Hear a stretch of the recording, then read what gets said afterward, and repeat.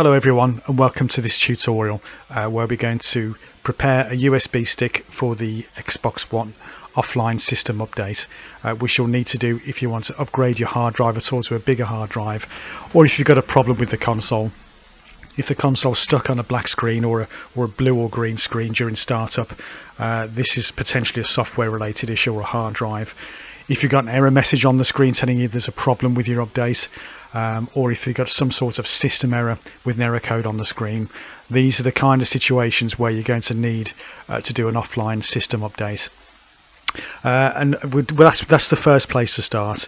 Uh, so we're going to need a USB stick to do that. We're going to need to go to Microsoft's website and download one of their OSU files. There are now three files: OSU1, OSU2, and OSU3. Uh, and if we can't up, uh, update the console like this, uh, then you will need to try and reset your console to factory settings, uh, which will uh, which will scrub your hard drive, by the way. And failing that, uh, then you may need to upgrade the hard drive completely to a new one. and if you want to swap the hard drive out for a bigger hard drive, for example, as well, um, that's no problem. You can do that, and also you will need the OSU1 file to, to to be able to do that as well. So without further ado, uh, what you want to do is get your USB stick and put it into your computer. So put the USB stick in, Windows 10 should recognize it straight away and open up the file explorer. And this here the drive E over here is our USB stick. It might be on drive D on your computer.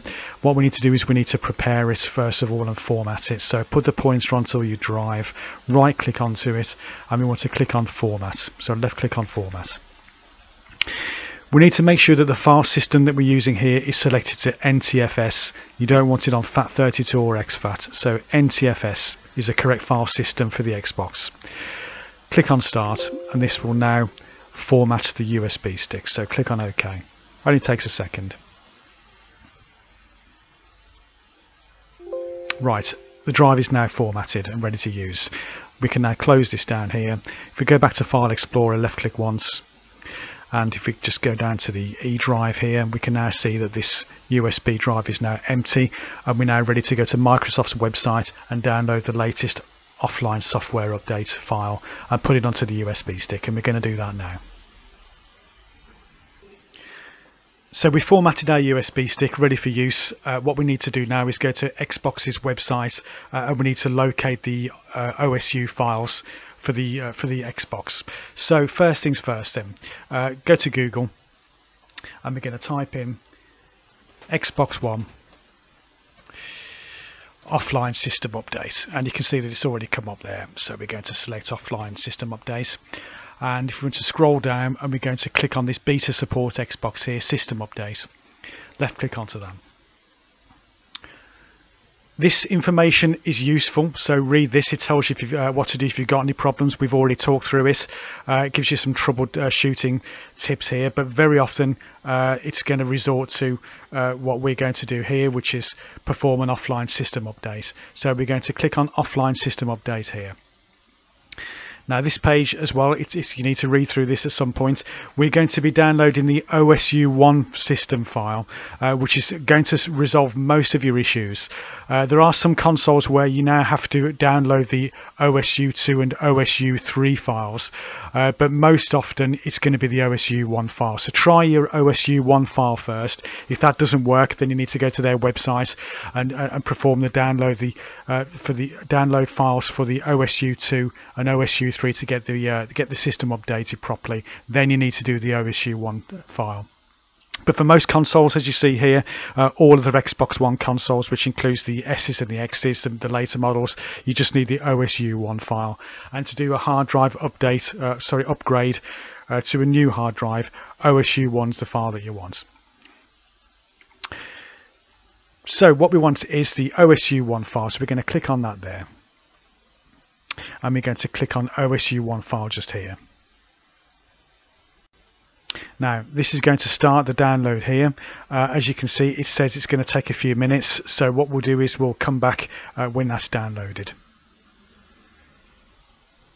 Okay guys, so the OSU1 file has now downloaded uh, which is down here. Uh, so what we can do is we can now put this OSU1 file onto our USB stick. Uh, if I go to the File Explorer and click on the USB stick here. We need to put this file into into the the space here. But before I do that I just want to go back to the uh, Microsoft's website regarding the updates. And I just want to make one thing clear uh, and, and, also a bit of a disclaimer here as well. Um, if you are unsure in any way which OSU file to use go to their website on this page where we found the file and read the instructions okay? Don't take my word for it. Read what they say. But just as a, a, a quick rule of thumb for you I'm just going to try and uh, simplify it a little bit because they haven't made it simple at all to understand. Uh, and if you're uh, hard of thinking like myself then uh, so, sometimes you need to, uh, to, to have it told more than once. So this is my advice. If you are unsure which OSU file to use there, there are three. There's OSU 1, OSU 2 and OSU 3. My advice is, whichever con Xbox console it is you've got, whether it's the original or the Xbox S or the X, start off with the OSU 1 file. So any problem that you've got, you've got a system error, you need to do a system update, you're changing your hard drive, whatever the problem is, you're troubleshooting the, the problem, you need an offline system update. Start off with OSU 1 which is what we've downloaded now okay? It even says here look all X, all other Xbox consoles. It means apart from the original. So if you've got the Xbox One S or X the update file that you need is the OSU 1 file which is the one that we've downloaded. Now the problem starts with the original Xbox One. My advice is if you've got an original old style Xbox One again starts with the OSU 1 file okay? But it's uh, but for some versions you may need to download either the OSU2 or the OSU3 file before you download the OSU1 file to get it up to date. So this is where the problem starts. What you might need to do is verify your operating system first of all by clicking on here and it will tell you which operating systems uh, you need. All these operating systems here is OSU1 which is great which is uh, keeps things nice and simple. But there are certain operating systems where you need to use the OSU2 or OSU3 uh, just to confuse make things really confusing.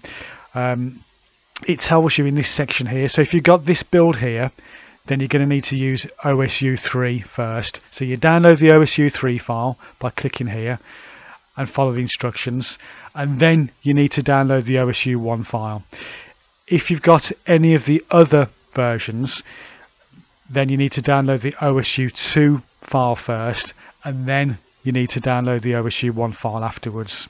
Confusing or what? Yes it is. Like I say, keep things simple. Start off with the OSU1 file and take it from there, which is what we've done. So we're going to go back over to File Explorer, right? We're going to go into Downloads.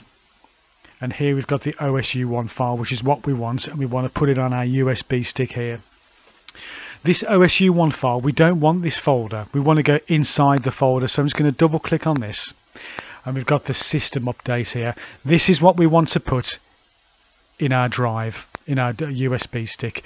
We don't want we don't want to put the whole folder in there. We want the, the file that's inside the folder, which says system update. That's what we want to put in here. So what we're going to do is we're going to drag this and we're going to put it into this drive here and it's going to copy it into this drive now this is going to take some time okay so what we'll do is we'll come back in a couple of minutes when it's complete right so the OSU file uh, has downloaded and we've got it put onto our USB stick uh, with the root file being the systems update folder which is just here. That's what we want. Uh, we've now put that onto the the uh, the USB stick down here. We can see it over here. Look I've just clicked onto the the folder and we've got these files in here. Um, but now we've got the system uh, the system files onto the USB stick. We're now ready to take the USB stick out of your computer uh, and then we're ready to go over to the Xbox to, to install